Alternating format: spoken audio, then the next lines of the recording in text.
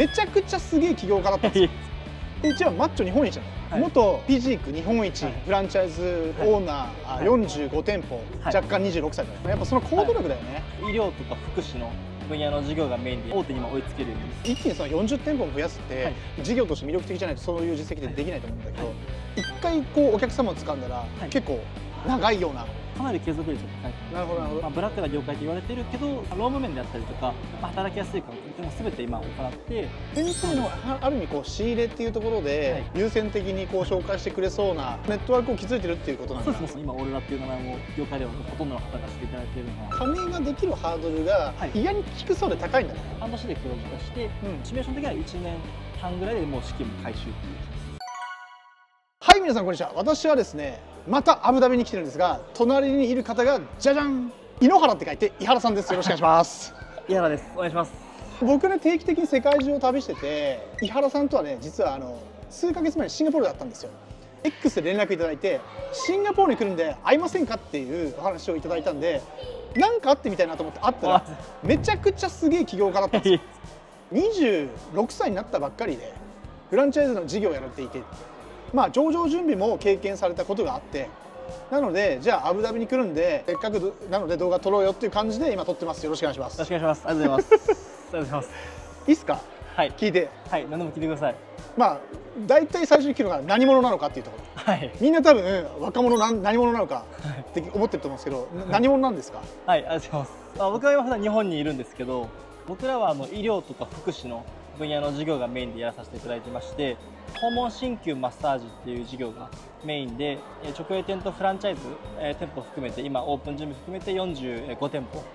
やらさせていただいております。すごいね。だからもう26歳にしてフランチャイズの、はい、まあ、医療福祉系の45店舗のオーナー社長ってことだよね。あと他にはあの障害者グループホームっていう障害者の方が住むもう24時間の施設。も一応5つ今やっていてまたの訪問看護っていうあの看護師さんがやる事業もやってましてあと不動産も障害者の方メインの仲介事業もやらさせていただいてます。マジ？26歳で？あ全部入れて44店舗事務所えー、いつから起業したの？僕はもう初めアフィリエイトから始まってましてもともとそのフィジークっていうまあボディビルみたいな大会があってそれを18歳の頃から出てたので、まあ、授業の開始っていう言い方で言うと18歳19歳ぐらいからやってます。フィジークってこのマッチョだよね？あそうです。マッチョが仕事だったの？マッチョで一応その高校生の時に日本一の決める大会があって、うん、それで優勝してえじゃあマッチョ日本一なの？元 そうその時そうです。いやちょっと待って。俺さっき一緒にサウナ入ったんだけど、はいその感じは残ってなかった、ね、もう今は全然もう。じゃあサムネあれだね、はい、元ピジーク日本一からのフランチャイズオーナー、はい、45店舗、はい、若干26歳だね。はい。合ってます一応。これ再生されるよ。く言えば合ってます。すごいね。いやなんでシンガポールにフラッと来たり、今回もフラッとドバイ誘って来てくれたの？いや僕もやっぱり島袋さんの X 見てたりとか、まあ、実際海外でやっぱ島袋さんがチャンスを見つけて今ものにされてるのでやっぱりチャンスって日本の外にたくさんあるなっていうのはすごい SNS 見てても感じたんですけど、うん、まあ、でもそれってやっぱり考えてても行動しないと始まらないなって思ってたので思い切ってどうしても会いたいっていう DM を送らせていただいてシンガポールでお会いさせていただいて今に至るっていう感じです。僕なかなか会えないですけど、会えたらいろんな人紹介しますから。ありがとういやもう現にあのご紹介いただきました本当に感謝してます。ああなるほどね。やっぱその行動力だよね。ありがとうございます。でちなみにさななんでその事業を、その18歳のフィジーク筋トレから始まってさ、アフィリエイトってウェブのアフィリエイトだよね。はい。それやってなんで福祉の業界にどうやって足を踏み入れたの？あありがとうございます。僕がもともとそのフィットネス始めたのもまあ趣味で始めて、うん、でちょっと没頭しやすいタイプなのでその大会日本一になってあのちょっと名前挙げていいか分かんないですけど某大手あのマイプロテインさんっていうヨーロッパでナンバーのブランドの会社さんがたまたまそのタイミングで日本の市場に参入されてそこであの2人目かなのあのチームマイプロテインというスポンサー、うん、その会社さんがついていただいて、うん、そこのその URL を貼って紹介すると何パーバックですよみたいな、ああアフィリエイトね普通に。そこで、まあ、当時その僕もアフィリエイトでこう戦略的に稼ぐっていうよりは、うん、もうフォロワーをその時合計で5万人6万人ぐらいいてあそうなんだ。その人たちに対してその、僕が使ってるプロテインこれとか、フィットネス系のそのサプリメントとかすごいサプリメントもいっぱい飲んでたので、うん、それを紹介してたまたまフィットネスのその商品って毎月サプリメントを消費するんで、うん。毎月買うし多い時は数百万売り上げがそこからできるえそうなの？で、まあ、そそこから何パー入るっていう感じだったので、うん。っていう感じで勝手にアフィリエイトが始まっていってへそれだとあの iHerb っていう、まあ、それに付随した別のサプリメントを紹介して、うん。そこからあのアフィリエイトでまた何パーかもらうっていう、まあ、自分がインフルエンサーとして出て紹介してもらうみたいな形のアフィリエイトが18歳19歳の時に始まったっていう感じ。すごい18歳だね。本当でまあたまたま巡り合えただけっていう。えじゃあ元そのフィジーク日本一、はい。インフルエンサー、はい。次にフランチャイズ本部社長だね。あそう絶対うんその前に一回直営店で、あのもう3年間ずっとやってきたので今までは、うん。フランチャイズ始めたのは本当今年からで一気に44店舗加盟いただいただけでもともとは3年間はそこは直営店だけでずっとやってきた。すごいね。え福祉の具体的にどういう何の事業なの？と先ほど冒頭にお話したようにいくつかやらさせていただいてるんですけどもメインが訪問鍼灸マッサージっていう事業で、うん。えっと、よくあの店舗に来店して、うん。こうお客さんに対してこう保険請求とかそういうものは全くなくて、うん。我々が訪問して、えっと、後期高齢者の、えっと、老人ホームであったりとか、うん。まあ、ご自宅で1人か、まあ、もしくはご夫婦で住まわれているご高齢の方に対して、うん。マッサージとか機能訓練を医療保険を使って行うっていう事業です。あそうなんだ、えーなんかあんまりそんなに医療とかそのはい。福祉に詳しくないから、はい。そこってなんかもうすでに大手がいたりするような気がするんだけど、実際どうなの？実際は、まあ、うん上場している会社さんも一社あるんですけども、まうん。あ正直成長率で言っても、まあ、かなり正直弊社の方が、うん。ぐんと今上がってきている状況でして。あそうなんだそもそもこの事業自体が、まあ、7割8割ぐらいが個人事業主の方が1人先生でやるとか、うん。まあ、いても23人でやるとかっていう規模がほとんどなので法人でやられてる会社が本当にまあ2社ぐらい3社ぐらいしかないあそうなんだ、えそのまあ23社はもうある程度成熟してて正直ちょっと成長がだいぶ鈍化してる会社さんが正直多いので、うん。今我々がどんどんそこのあの真ん中のまあミドル層に入って、うん。まあ、大手に今追いつけるように毎年毎年どんどんこう更新していっていう状況。なるほど。なんか FC モデルっていうじゃん、はい。どどういう FC モデルなの？しかもそのえっとなんか大手が参入しづらいって言ってるじゃん。はい、だって一気にその40店舗も増やすって、はい。多分相当、まあ、事業として魅力的じゃないとそういう実績でできないと思うんだけど、はその辺どうなのちょもうちょっと詳しく教えてよ。ありがとうございます。ま あ、いろいろ投資型とかフランチャイズの種類あると思うんですけども、ん私はもう本当に、まあ、シンプルな時 一番多分シンプルなフランチャイズでうん加盟していただいたら、まあ、採用のご支援もう実際面接もうちがやらせていただいて、うんオーナーさんも同席して、えー、と一緒に面接して、うん採用の支援も行う。またはその医療の請求に関しても、ん結構やっぱり業界って医療福祉以外の方が加盟されてるのでほとんどの方が、うんうんうんそうなるとやっぱり請求の仕方がやっぱり医療保険のはいはいはいではい。保険証の番号を登録して、うん。医療費無料の方も実際いらっしゃるのでそういう方は、まあ、医療助成っていうまた別の書類を登録して、うん。一桁でも間違えたらまた返礼といって国から返ってきちゃう。うん。結構難しいので、そこも全部本部がバックアップしていて、うん。保険証提出していただければ全部本部が入力をして請求もするそれさ鍼灸とかは普通だからその構えてるところに行って、はい。えー皆さん受けるんだけどそれを訪問型でやってるっていうのが結構他もやってないよっていうことそうですね。なんだね。そうです。訪問鍼灸とかね。はい。だからまあその、まあ、変な話交通事故とかあって、はい。外に出れないとか、はい。そういう重度な方が、い。その利用されるのかな、あ本当にそうです。もうほとんどの方が75歳以上の方で、うん。重たい方はもう本当依頼いただいたタイミングでもう寿命が残りもう本当に3ヶ月から半年とかっていう、うん。まあ、いわゆるホスピスって言われる、まあ、重たい施設にいらっしゃる方もいらっしゃれば、うん。まあ、軽い方はあのちょっと杖ついて、まあ、うんなかなかちょっと車椅子を押し押しながらじゃないと歩けないとかっていう方もいらっしゃるっていう感じです。なるほどね。ってなるとちょっとなんか社会的な意味もすごくい。いもあるし、一方でその、まあ、ビジネスとしても、はい。一回こうお客様を掴んだら、はい。結構長いようなはい。気がするんだけどどうどうなんでしょう？正直おっしゃる通りでして、ん。あの一回ご契約いただけると、うん。基本的にあの、まあ、お亡くなりになるまであのご使用いただいた方がうん。あのほとんどでして、うん。まあ、離脱率に関しても、えっと、毎月直営店も、えっと、大体1%から2%すごいね。で推移してまして、でうん。その1、2%の方も7、8割の方、うん。70、80%の方が実際ご請求されて中止っていう形なので、ん。まあかなり継続率が高いかななるほどなるほど、まあ、ビジネスという側面もやっぱありつつそういう社会性もあるからね、でも。そうですね。でもさそうなってくるとその新規の先生を採用するのが実はめちゃくちゃ難しいし、パイ少ないんじゃないのってちょっと思っちゃったりするんだけど、はい。どうなんの、えっと、正直、えっと、看護師さんとかに比べたら、うん。え母数は少ないです圧倒的に。うん。ただ、えっとまあ、自社がもうすでに1年間で今70名以以上有資格者採用を続けてまして今ももう毎月、えー、10件以上は面接を続けている状態でして、まあ、ここがやっぱりあの業界が閉鎖的な業界なので、うんうん、有資格者の方のお知り合いってやっぱり有資格者なんですねなるほどなるほどなるほど。うちがやっぱり、まあ、ブラックな業界と言われてるけど9時6時でしっかり終わって1分単位の残業もしっかりつけるっていう、まあ、労務面であったりとか、まあ、働きやすい環境なるべく IT 化するとかっていうのも全て今行って、まあ、離職率もかなり低い状態を維持しているのでもう社内にたくさんいる有資格者の方がさらに紹介してくれたりとか、うんうん、あと私も実はその神経マッサージで資格を持ってるんですね。あそうなの？国家資格を。あら。先生あそう今一応そうなんですよ。いろんな 顔を持ってるね。インフルエンサーだったりね銀マッチョだったりね。そうなんです。すごいね、まあ、私がやっぱり有資格者っていうことで医療福祉の学校の方々ともやっぱつながりがあって、そこでやっぱりパイプが結構大切でそういうことかだから先生のある意味こう仕入れっていうところで、はい、まあ見た感じ爽やかだし、はい、優先的にこう紹介してくれそうな感じのネットワークを築いてるっていうことなんだ。そうですね。そこもコツコツも今直営も含めて5年間やってきて、まあ、関東ももちろんそうですけどチームの方もあの学校と連携を取りながら、あのどんどんご紹介いただきながらっていうので、しかも働きやすいのでまた人が増えればその分いっぱい横のつながりで先生が先生を呼んでくれるっていうのでどんどんでるってなるほどね。なんかフットワークも軽そうだもんね。アブダビ来ないやつすぐ来るし、はい、シンガポール来ないやつ来るし、はい、だから学校側も何かあったら、はい、江原さんとか言ったらすぐ「はい」っつって言ってねこんな感じだから。それ一番最初当時はもう僕もそういうものに対して今はもちろん採用担当部署があるのでそこにお願いはもちろんしてるんですけどもそっか。そこでどんどんこう積み上げてきたものがあるのでもうお金払えばこう入れるっていう業界ではないのでそこでやっぱりかなり、うん、あの今オーロラっていう名前も業界ではほとんどの方が知っていただいているのかな。なるほどね。それはもちろんもちろん求人媒体も、いろんな媒体を使って、うん、まあ、この媒体はこういうふうに載せて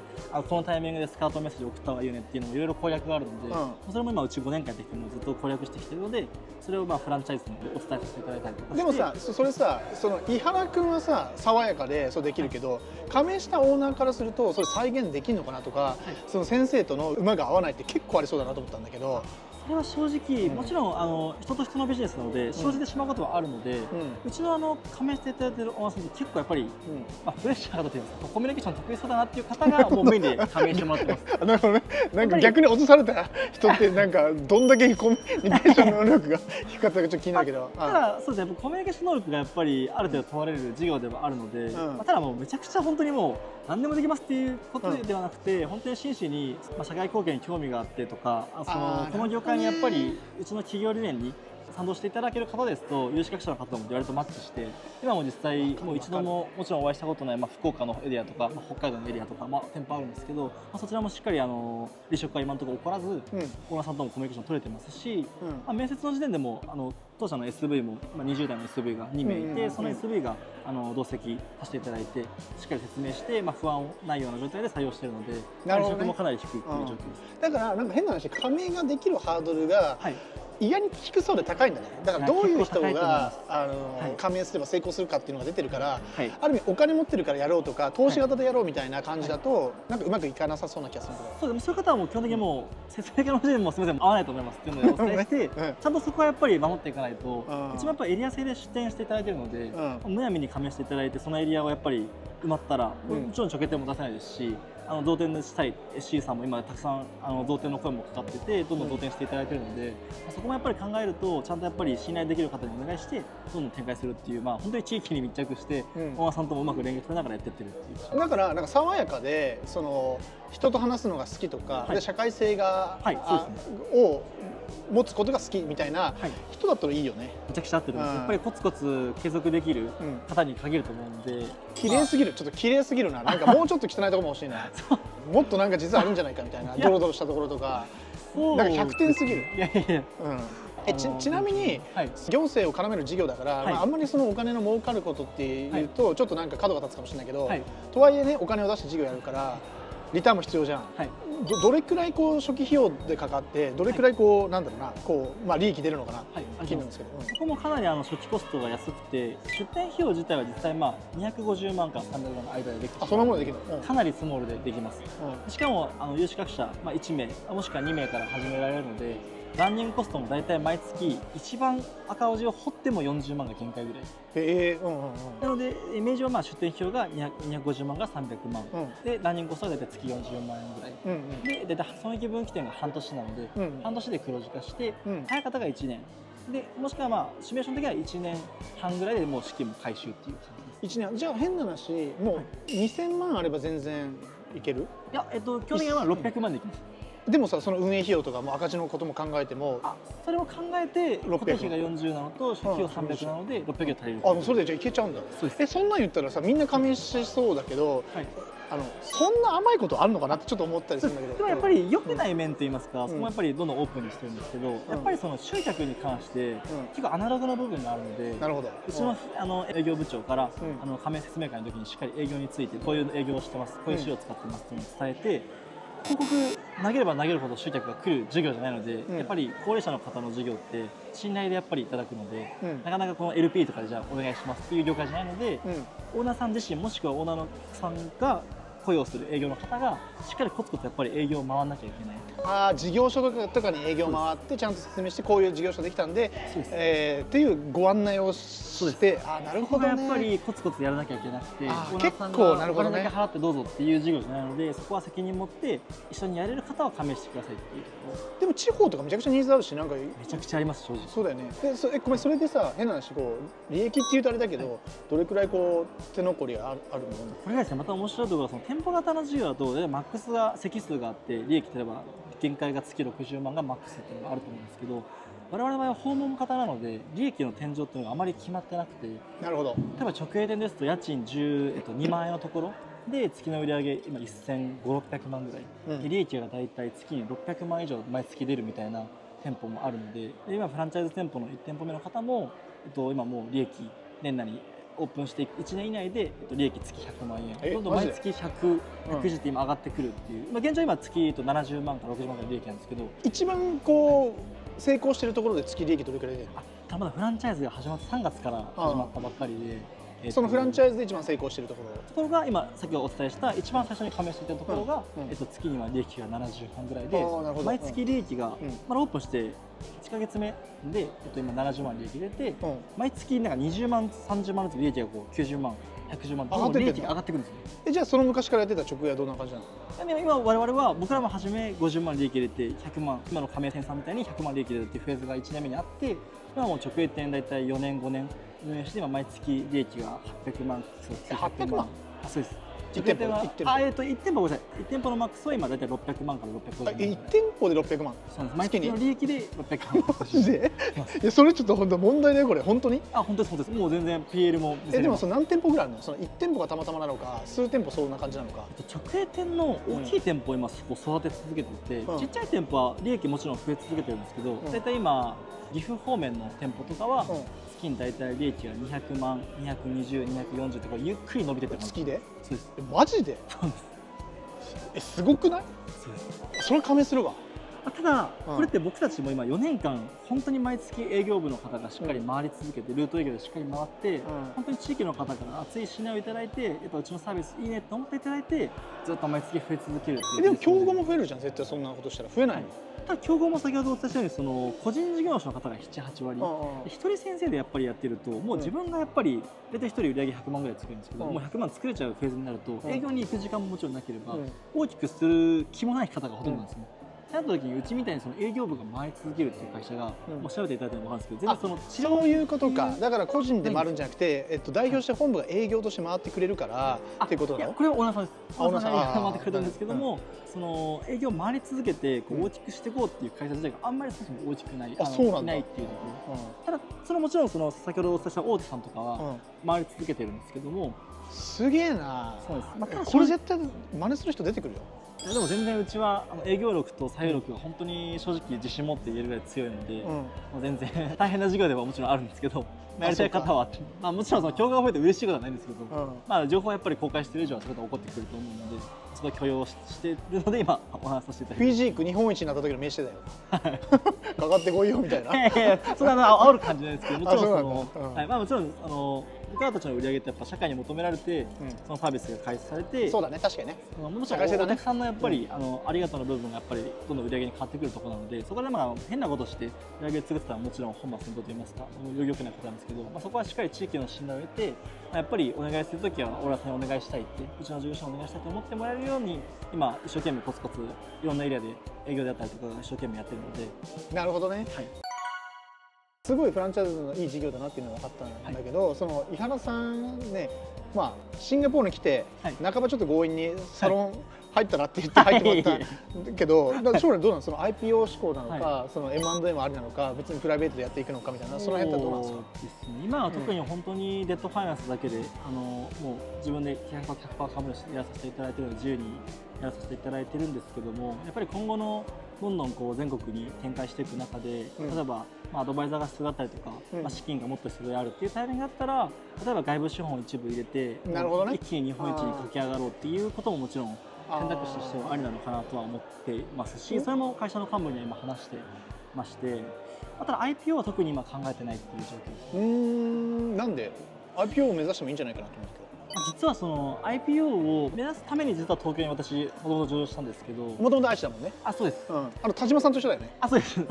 はい、うん、一緒であの全然 レベルが違くてすごい恐縮なんですけどそれであの IPO を目指して初め東京に来ていろいろ外部顧問だったりとかっていうのもあの公認会計士さんと話したりとか進めていって話してたんですけどもやっぱり医療ってもちろん単価も決まってますし、まあ、利益率も高い高いんですけどもとはいえやっぱある程度決まっている部分があるので、うんうん、僕たちのビジネスモデルってじゃあ上場してもかなり株価が跳ねるかって言われるとあまり跳ねない部分もあって、うん、それで株主さんがいっぱい入ってきてまあ、それが従業員の方に還元できるかって言われるとちょっと私はいろんな会社さん見てるとあんまりこれって幹部であったりとか一緒に今までずっと頑張ってきた仲間のためになるかって言われたら正直ならないなっていうのは、まあ、直感ですけどいろんな話を聞いてて確かにてしまっていて、うん、なんか社会的信用はできるかもしれないけれども結局上場するっていうことは、ある意味その金融商品という側面も持たなきゃいけないから、ね、成長を毎年しなきゃいけないっていうノルマをある意味福祉っていう業界の中で、やっていくのどうなんだっけみたいな感じ？そうです。まあ一応その否定するわけではないんですけども、うん、それ上場されてどんどん株価が上がっていくっていう業種ももちろんあると思うので我々の業種で見ると、まあ、スタッフやったり、まあ、幹部やったりが、まあ、喜ぶかとか幸せになるかっていう部分を、まあ、ヒアリングいろいろしながらも話して進めたんですけど、まあ、正直 IPO より自由にといいますか、まあ、しっかり自分たちの力でやった方がスタッフにも還元できるし、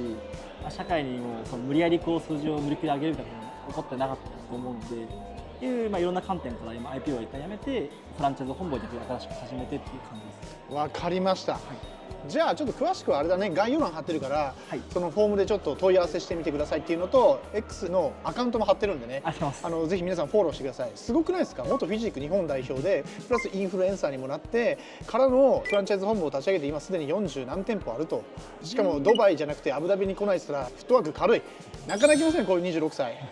概要欄貼ってみますんで。っていう感じですかね。チェックお願いします、はい、よろしくお願いします。じゃあまた M&A バンクでお会いしましょう。ありがとうございました。ありがとうございました今すぐ会社を売却する予定がなくても、ぜひサロンに入って M&A、そして IPO を勉強しませんか？将来必ず役に立つと思います。ぜひ M&A バンクサロンでお会いしましょう。